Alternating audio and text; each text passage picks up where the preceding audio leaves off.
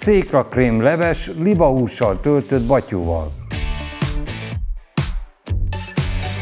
Hozzávalók négy személyre. A leveshez kettő darab cékla, 5 deka torma, 1 deciliter tej, két evőkanál olívaolaj, kettő gereszt fokhagyma, egy kávéskanál őrölt kömény, friss bazsalikom só. A batyúhoz 15 deka liszt, egy darab tojás, egy deciliter tejföl, két deka olvasztott vaj, egy kávéskanál ecet, só.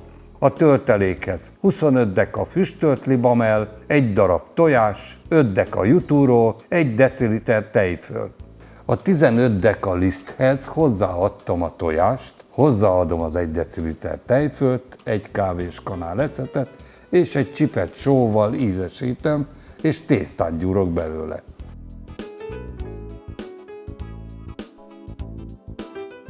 Lisztedett deszkán kinyújtom, vajjal vékonyan bekenem, majd összehajtogatom, és ezt a műveletet háromszor megismétlem.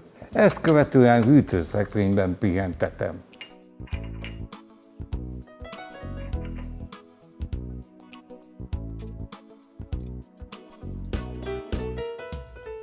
Amíg pihen a tészta, elkészítjük a tölteléket. A füstölt liba mellett felkockázom, majd a jutúróval, a tejföllel és a tojással együtt leturmixolom.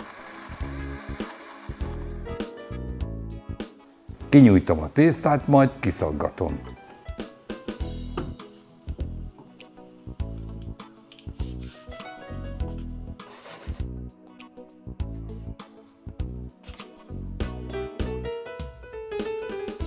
Tészta készítő forma segítségével elkészítem a batyukat.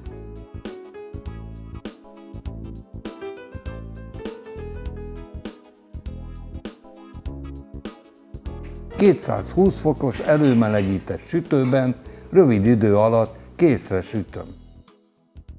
Olajon az előfőzött céklát felhevítem a bazsalikommal és a fokhagymával. Hozzáadom a tormát, és egy keverés után felöntöm tejjel.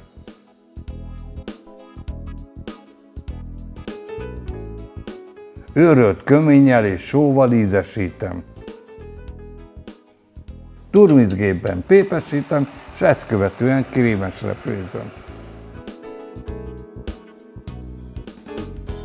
Jó étvágyat kívánok!